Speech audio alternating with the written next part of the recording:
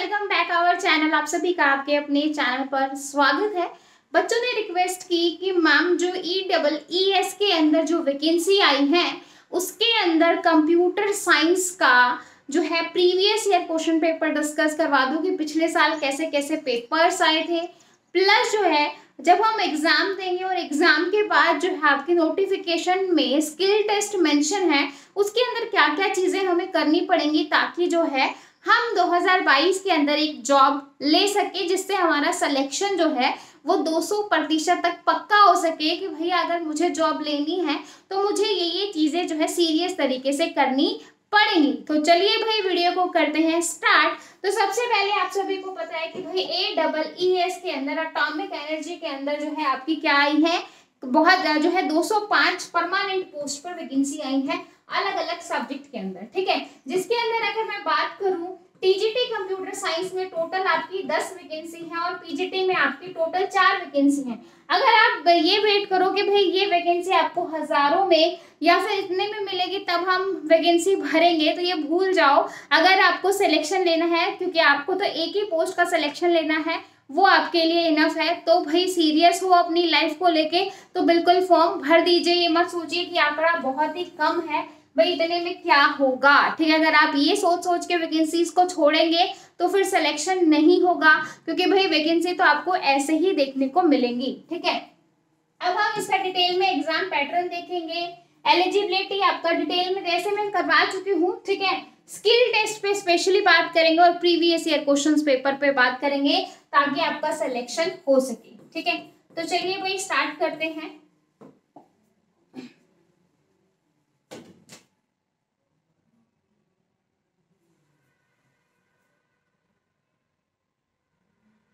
हाँ जी।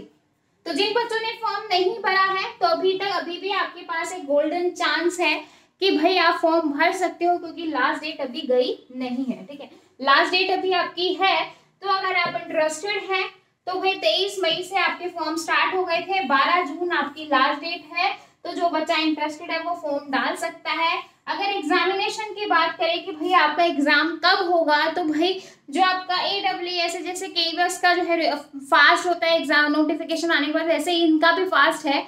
जो है बहुत सिलेक्शन प्रोसीजर जो होता है, वो जल्दी है कि भाई अगर पूरी पूरी पॉसिबिलिटी है कि आपको ज्वाइनिंग जो है, वो इस साल या फिर जो है नेक्स्ट जो है, वो जैन फैब में देखने को मिल सकती है, ठीक है?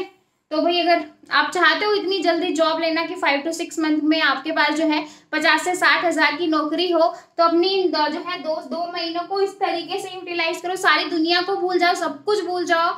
बस सो, याद रखो एक नौकरी जो कि आपको इसी साल चाहिए, ठीक है?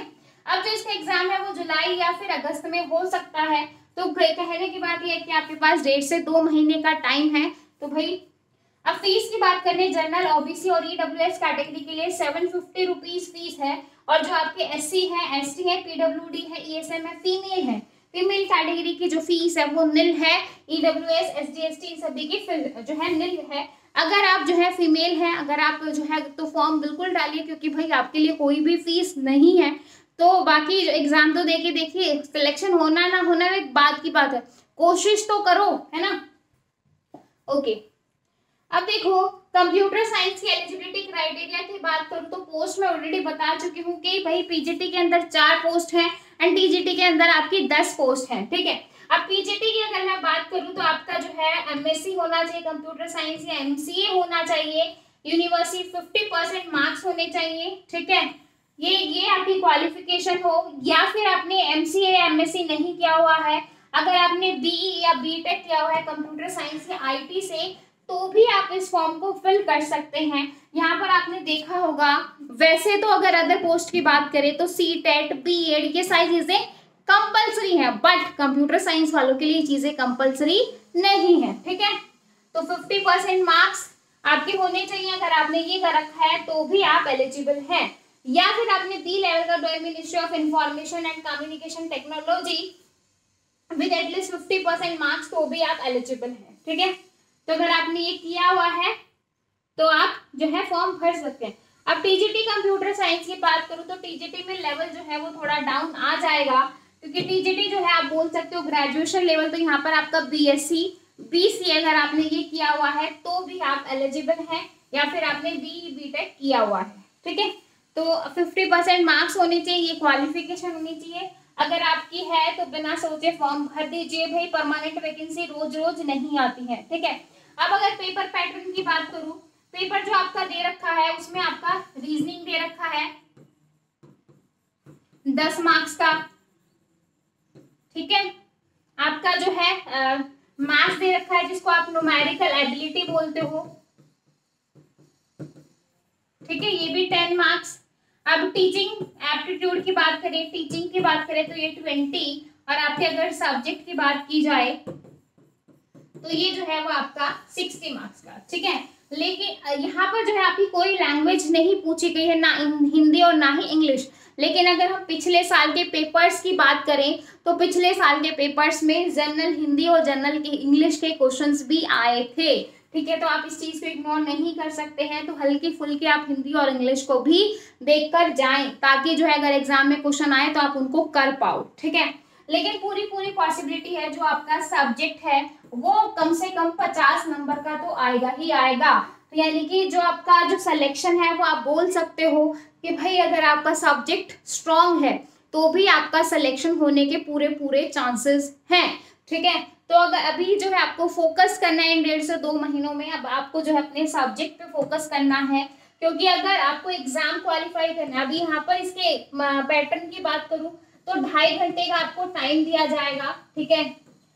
सौ क्वेश्चन होंगे 150 मिनट होंगी, नो नेगेटिव मार्किंग, कोई नेगेटिव मार्किंग नहीं होगी, ठीक है?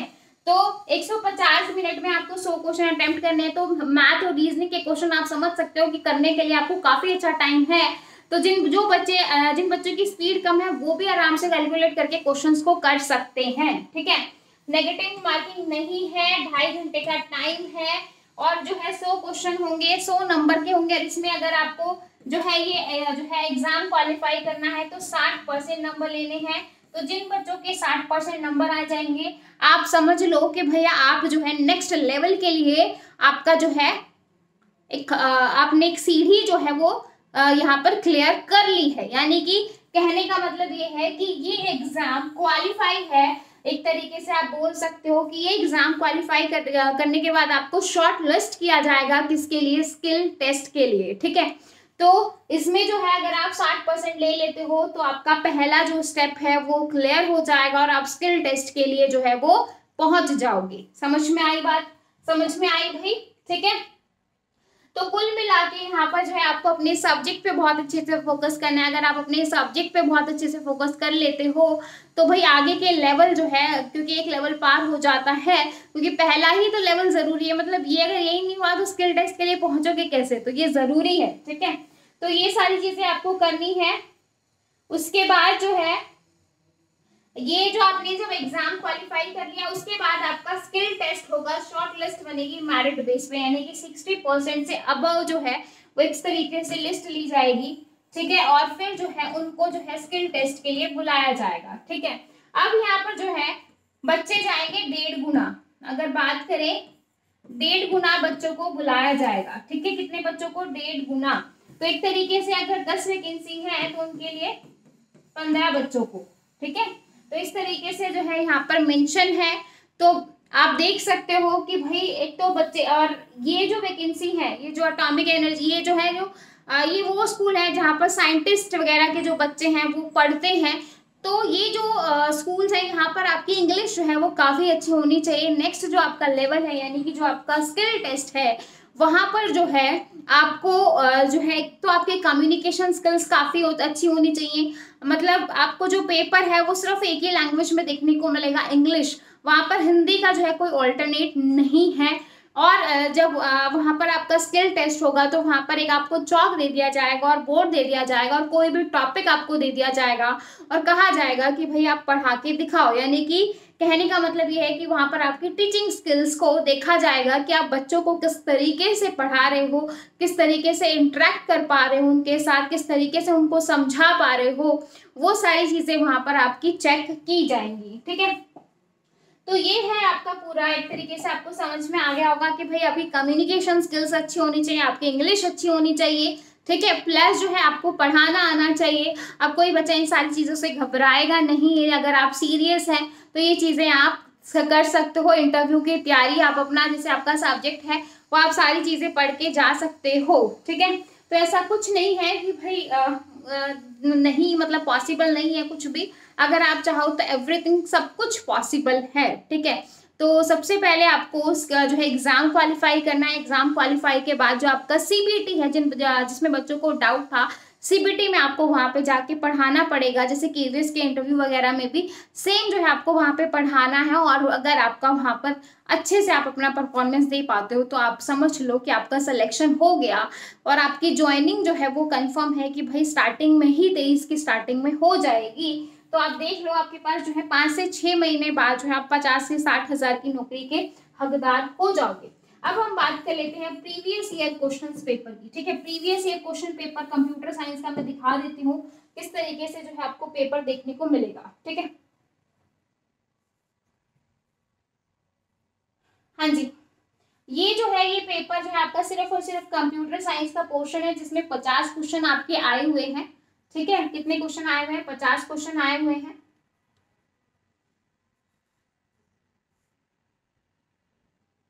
हाँ जी पीजीटी का पेपर है ये, जिसमें आपको डेढ़ घंटे का टाइम और पचास क्वेश्चन है। वैसे तो आपका फुल हंड्रेड मार्क्स का पेपर आएगा।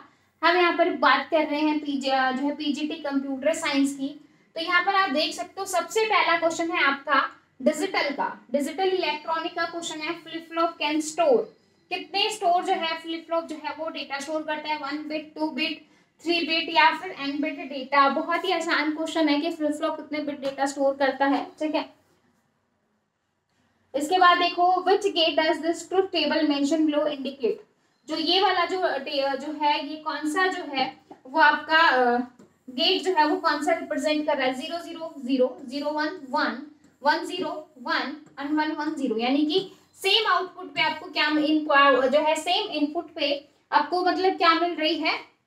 आउटपुट क्या मिल रही है? ज़ीरो तो ये कौन सा गेट होता है? ठीक है? दोनों ही क्वेश्चन काफ़ी आसान है। इस पेपर को मैं डिटेल में एक्सप्लेन करवाऊँगी डोंट वरी अभी सिर्फ़ मैं आपको एक नॉर्मल बता रही हूँ क्या क्या तो दो क्वेश्चन आपको जो है डिजिटल में से देखने को मिले। नेक्स्ट आपका रेड वन यानी कि सॉफ्टवेयर इंजीनियरिंग का क्वेश्चन है। फिर Windows seven and Mac O X in computing use the method of scheduling is called ठीक है? इसके बाद ये आपका नॉर्मल बेसिक क्वेश्चन है। Public key encryption involve the use of कितनी की जो है पब्लिक इंक्रिप्शन में, कितनी की जो है यूज़ होती है। Interval between the time of submission and completion job क्या कहलाता है? ठीक है? ऑपरेटिंग सिस्टम का क्वेश्चन है। The technique of removing inactive program from the memory of computer system क्या कहलाएगा? ठीक है? ऑपरेटिंग सिस्टम का क्वेश्चन है man how many additional permutation can be generated word assist pass आपका equivalent relation is a relation which ठीक है? Equivalent relation में क्या होता है? आपका रिफ्लेक्सिव सिमेट्रिक एंड ट्रांजिटिव तो बहुत ही आसान चीज़ें हैं। Simple graph and which there exist in edge between every pair of vertices is called ठीक है? Graph is tree if and only if graph जो है वो आपका ट्री हो सकता है। क्या हो उसमें? कंप्लीटली कनेक्टेड हो मिनिमली कनेक्टेड हो कंटेन अ सर्किट क्या? सर्किट कंटेन करेगा, ठीक है? प्लानर हो तो ये जो क्वेश्चन है, एक तरीके से आपका डेटा स्ट्रक्चर हो गया डिजिटल हो गया, आपका सॉफ्टवेयर इंजीनियरिंग का क्वेश्चन आया बेसिक फंडामेंटल में से क्वेश्चन आया ऑपरेटिंग सिस्टम का क्वेश्चन डायरेक्टेड ग्राफ तो आप यहाँ पर देख सकते हो कि भैया मैथ्स में से काफ़ी अच्छे खासे क्वेश्चन आए हैं, ठीक है? फिर ट्री आपका डेटा स्ट्रक्चर में से language accepted by finite automata finite automata कौन सी लैंग्वेज एक्सेप्ट करता है? चॉम्स की जो है क्लासिफिकेशन ग्रामर यानी कि टीओसी के भी बेसिक क्वेश्चन यहाँ पर पूछे गए हैं तो आप लेवल को आसान नहीं समझ सकते पेपर अच्छा खासा आएगा। और मैं आपको बता दूँ पेपर जो जो है कनेक्ट जो करवाएगा वो, कर, वो आपका एनटीए जो है करवाएगा ठीक है? तो which of the following sorting algorithm is divide and conquer ठीक है कौन सा डिवाइड एंड कॉन्कर है? उसके बाद है complexity of linear search algorithm linear search algorithm की कॉम्प्लेक्सिटी क्या है? OSI layer which token management ठीक है?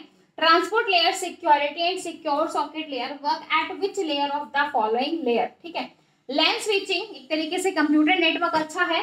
तो यहाँ पर जो बेसिक चीज़ अगर मैं कहूँ तो डेटा स्ट्रक्चर कंप्यूटर नेटवर्क आपका ऑपरेटिंग सिस्टम डिजिटल तो ये जो अच्छा खासे हैं, यहाँ से अच्छा खासा आया है, बाकी आगे भी देखते हैं।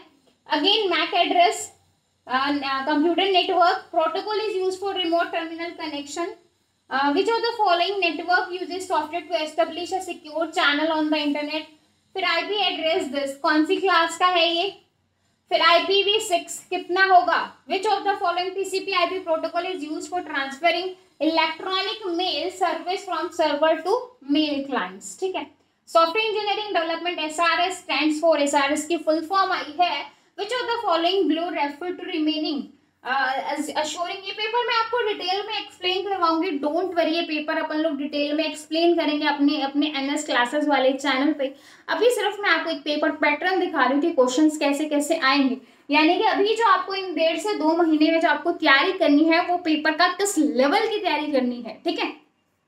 फिर उसके बाद है software development cycle models which having analysis design फिर जो है आपका shape underline E R model से which of the following Unix Linux command is for search text ठीक है? फिर आपका है which of the following derivative tighter type यानी कि आपका सी आ गया। अगेन सी प्रोग्रामिंग फिर सी प्रोग्राम्स फिर अगेन सी आपका। ठीक है? फिर प्रोग्राम अगेन प्रोग्रामिंग ठीक है?